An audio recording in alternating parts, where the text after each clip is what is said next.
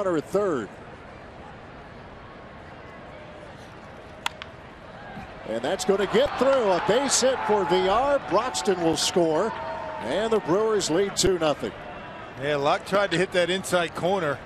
The pitch before that was very close. I think Cervelli was thinking that might have been a strike. He wasn't happy about that call. And because he wasn't getting that inside edge, he's, Locke leaves that one out over the plate. Check this out. Everything inside the Villar. You see number six. That was the one I think that Cervelli wanted. Number seven. I think at that point, Villar is thinking, I'm going to get something inside here and able to find a hole. So an RBI single for Villar.